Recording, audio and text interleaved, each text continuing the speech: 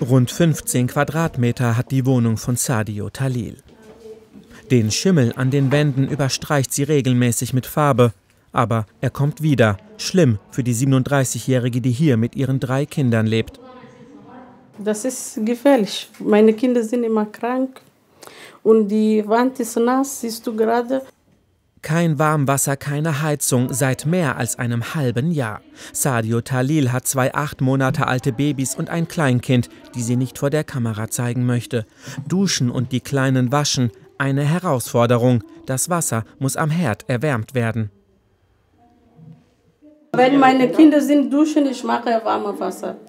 Aber sie, sie gerade jetzt in mein Schlafzimmer geschaut, das ist meine Lieblings. Sie lebt in einem Wohnhauskomplex im Industriegebiet im südhessischen Rossdorf. Hier wohnen ausschließlich Menschen mit Migrationshintergrund, viele von ihnen Geflüchtete. Niemand hat seit Februar warmes Wasser, wird uns gesagt. Die Heizungsanlage ist kaputt. Lebensbedingungen, die krank machen. Vor allem die Kinder sind immer wieder bei Kinderarzt Thomas Pruschil. Weil Sadio Talil besser Deutsch spricht als eine Freundin, bringt sie deren Tochter in die Sprechstunde. Keins, ne? Nee, nee. Aber es pfeift auf der Lunge und es ist wirklich Schleim drauf. Ne? Das müssen wir mit einem Medikament behandeln. Ja. Wir schreiben Ihnen auf, wie Sie das geben, wie lange. Wenn Fieber ist, bitte gleich wiederkommen. Ja. Denn bei den kleinen Kindern, wenn die dann so einen Infekt bekommen, kann sich das schwer ausbreiten. Die können dann ganz schwer atmen und schnell in eine bedrohliche Situation kommen. Ja, okay? Ja, okay. So machen wir das. Also man sieht das wirklich, wo man sagt, das gibt es doch nicht schon wieder. Ne?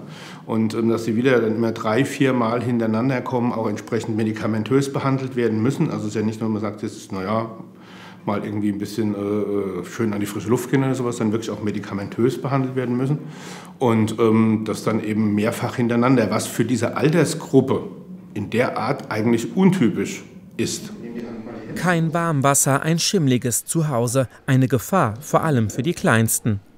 Je kleiner die Kinder sind, umso schwächer ist natürlich auch das Abwehrsystem, das sie noch haben. Und so größer ist auch die Gefahr, dass die Infektion nicht nur auf einen Bereich beschränkt bleibt, also eine Halsinfektion, Ohrinfektion, wie es bei uns ist, das wird dann gleich vom Immunsystem sozusagen umzingelt, sondern sich gleich ausbreitet und zu einer sehr schweren Infektion führt.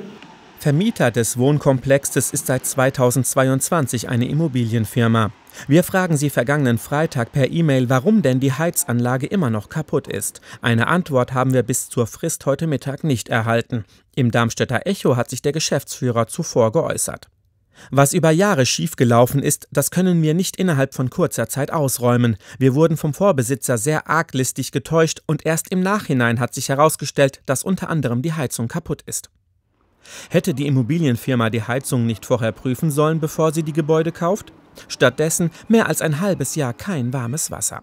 Die Heizungsanlage soll nun ausgetauscht, die neue mit staatlichen Fördermitteln finanziert werden. Das würde dauern, so der Vermieter.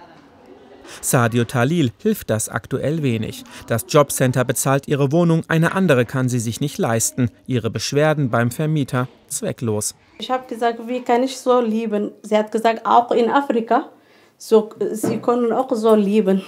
Ich habe gesagt, hier ist kalt, Afrika ist nicht kalt, Afrika ist warm. Und kein, Afrika warm, äh, Wasser ist normal, Haus ist normal, keine Chemie. Dabei hat die Frau aus Somalia nur einen bescheidenen Wunsch.